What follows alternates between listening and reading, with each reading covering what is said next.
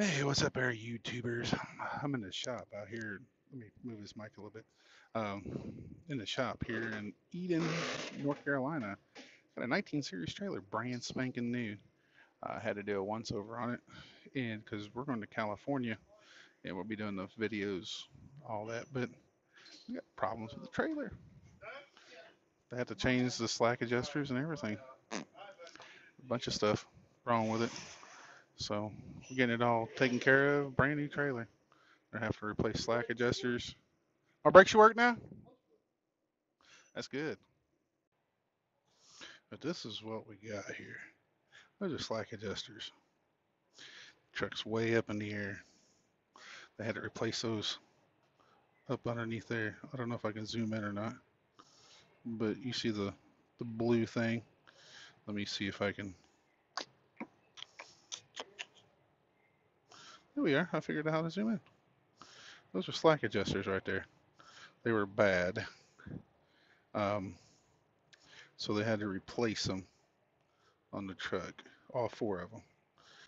For some odd reason, they said they wouldn't take and adjust, but they're like self-adjusting slack adjusters, is what they they are.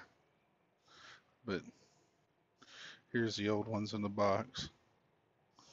That's from the from the factory from Great Dane and all that. They're no good. But that one that they put on, you can see doesn't have a Great Dane symbol in the green. It's got some st stick stigma or something like that. So, so I don't know. Let's see if you guys look here. See the tires way up off the ground. See, it's way off the ground right here too. See, but it's jacked up by this thing right here. this thing right here. See, it's way up in the air. Kind of cool, really. We gotta take this to California. So Oh, excuse me, I had to burp. But they picked the trailer up. It's a 19 series trailer. It's brand spanking new. It was just built. So,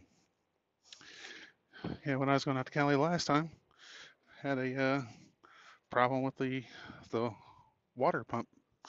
Not water pump, but water hose. So, pretty cool.